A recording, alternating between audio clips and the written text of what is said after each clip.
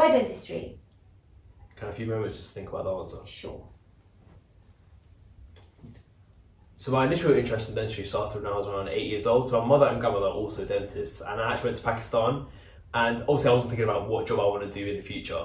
However, I saw patients receive like examinations and fillings, something that I would take for granted in the UK, and the satisfaction I saw on their face was something that kind of shocked me. I never knew that dentistry could not only influence oral health, but also mental health as well. And I want to be involved in a profession that actually helps mental health just as much as physical health. So this initial interest in dentistry actually increased when I underwent my own orthodontic treatment at St George's Hospital.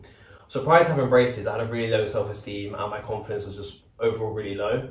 And I was quite skeptical, like could I was quite skeptical, so like could braces actually increase my confidence that much? However, every single appointment, the treatment plan was really clear to me. I knew exactly what he was doing.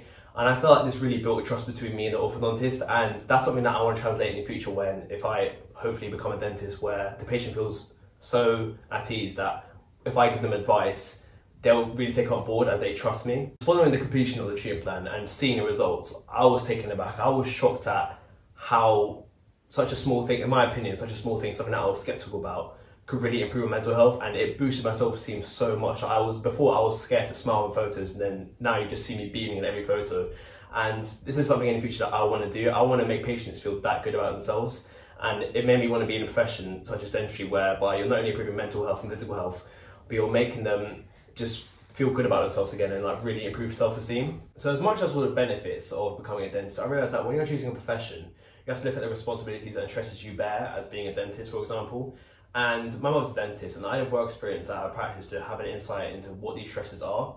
So one of these stresses that I saw was managing patients. So for example, there might be patients that come in with really high anxiety, have dental phobia, and it's the way that you adjust and the way that you speak to your patient that really matters. So when managing patients that are anxious, the key quality that you need as a dentist is communication. So by having good communication, you're making sure that the patient knows exactly what the treatment plan is, and this is an example of informed consent. Also, while shadowing my mother, I realised there are a few responsibilities you carry as a dentist. A few of these responsibilities are managing infection control to a really high standard, make sure patients are satisfied, and I feel like in order to, to achieve this, you need really good teamwork with your team in a multidisciplinary team. And as I said before, like having good communication in the team is really important as to make sure that everything's flowing really really well and patients feel comfortable in the environment that you're creating. And I feel that personally I could deliver the best treatment possible whilst also managing the responsibilities you bear as a dentist.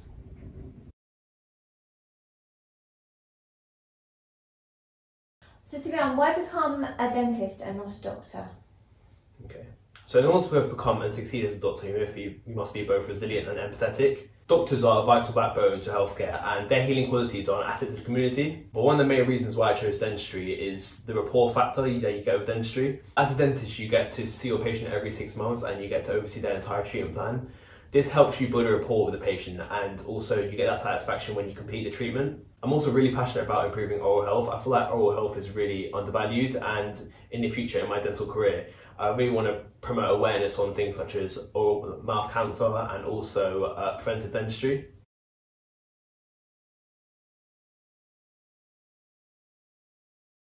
Okay, so what qualities does a good dentist need and when and where have you demonstrated those? Okay. So one of the most important qualities you need as a dentist is really good manual dexterity. So manual dexterity is the ability to use your hands in a coordinated manner. And a time where I've shown this is I, I play the flute and I still play the flute. And I performed at the Barbican in my school. And in order to play the flute, you need really good intricacy and also really good hand-eye coordination.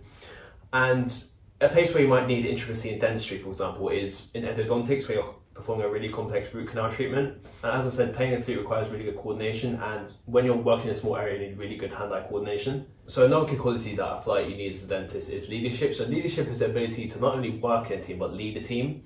And a way that I showed this is that I was actually manager of my school's football team, where I coached sessions and also managed the team during games.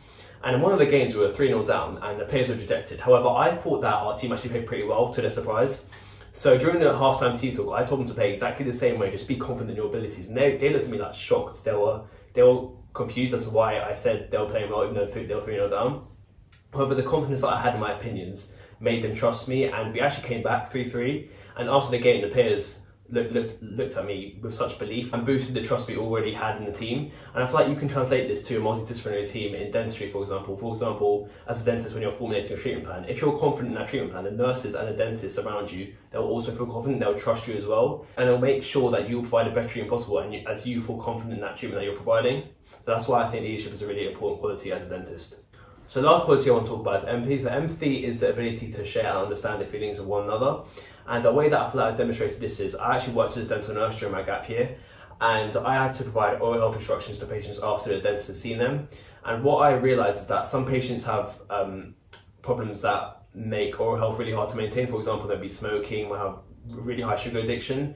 And the way that I handled it was being empathetic, make sure that I can kind of relate, even though I hadn't experienced these problems myself, I can kind of relate to them and give them instructions that help them um, reverse the sugar addiction or, or, providing them with information that combats their tobacco addiction and, and promotes smoking cessation. And I feel like you can relate this to the dentist as, as a dentist, you have to adapt to each situation and adjust your treatment plan according to the patient that you have. So all in all, I like that's why empathy is quite an important quality to have as a dentist.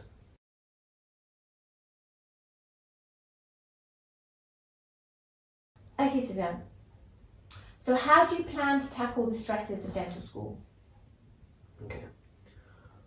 So prior to actually applying to dentistry, I spoke to a few dental students and I'm aware that there's a very heavy workload and I'm going to need to combat this with things in place that will help me deal with the stresses of dentistry and dental school.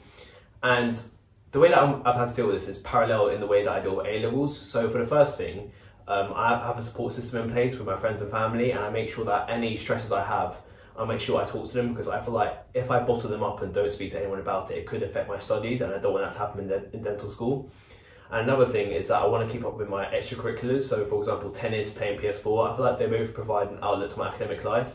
And having a support system, support system and these extracurriculars are two things that I want to keep in place for when I hopefully start my dental career and my dental studies at dental school.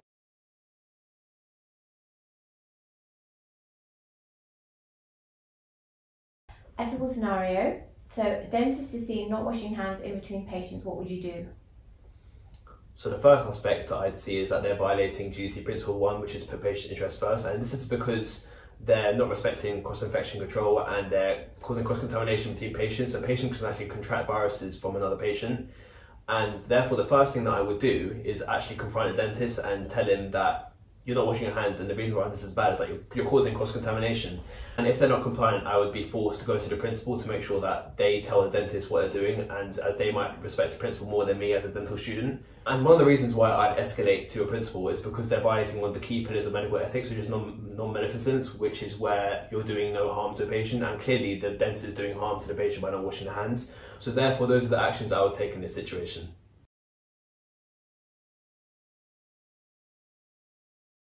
So, what did you learn during your work experience? So, during my work experience, I saw two scenarios that gave me insight on what it takes to become a good dentist. So, in the first scenario, there was a child that required an injection before a basic procedure. And even prior to the treatment, the child was restless and really anxious, quite a common theme with patients.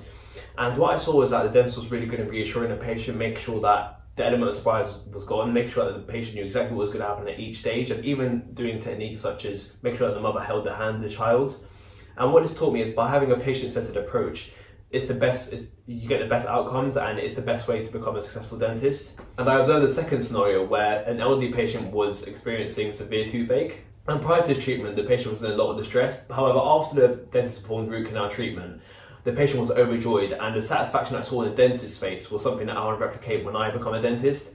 And I feel like the trust that the patient now has after the successful treatment is something that I feel that is a really positive aspect of dentistry and something that I want to achieve as a dentist as well. In conclusion, a successful treatment outcome boosts the trust between the patient and the dentist. Patients then go to the dentist as a place of relief and comfort, and this is something that I'd like to replicate in my own dental setting in the future as a dentist.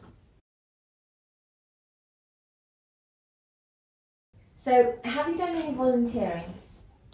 So I volunteered in the care home whereby I helped residents with dementia, and the way I helped them was by talking to them about their lives, playing dominoes with them, and I could see the happiness on their face. They felt so loved from the attention I was giving towards them, and I felt a lot of compassion. And I feel compassion is really important quality as a dentist, as it makes you provide the best treatment possible for your patient. And one of the patients actually was a dentist, and his name was Eric, and he travelled around the world providing patients with that were in deprived areas with dental treatment.